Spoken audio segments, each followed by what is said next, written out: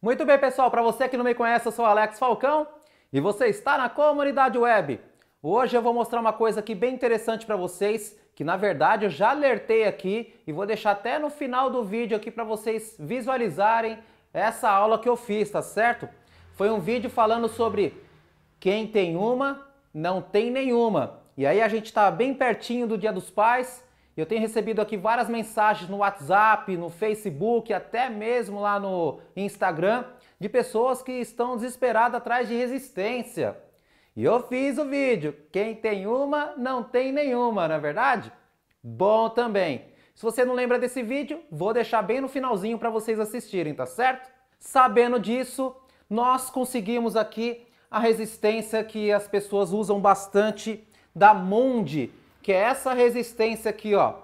Nós temos ela um pouquinho no estoque, tá certo? Somente 110 volts, beleza? Ela serve aqui para 11 e 15 Os. Você pode fazer aqui duas canecas, por exemplo, de porcelana, tranquilamente, e um squeeze aqui para pegar ele total. Super bacana.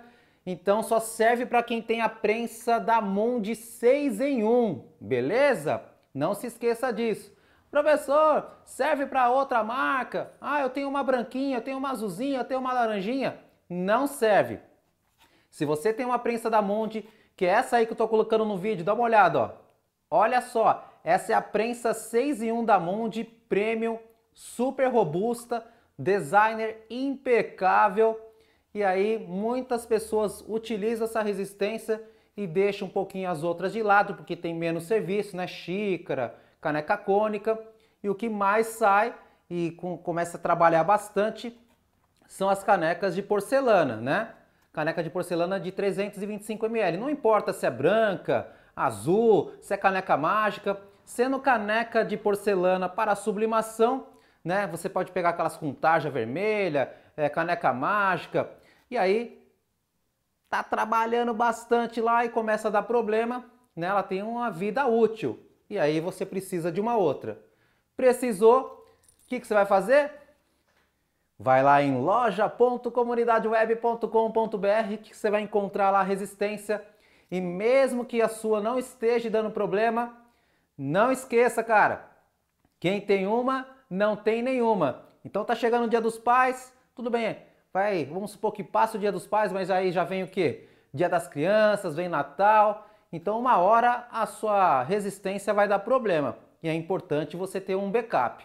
Não precisa comprar uma outra prensa, mas deixe de reserva uma, porque na hora do piriri, para você conseguir a resistência, vou confessar que é um pouquinho difícil, tá certo? Gostou desse vídeo? Clique em curtir, compartilha aí, ó. E precisando de resistência, loja.comunidadeweb.com.br. E não se esqueça, primeiro conhecimento, depois equipamentos. Beleza? Bom também. Aí, ó. Resistência bacaninha, 110 volts, de 11 a 15 Os. Chique no último.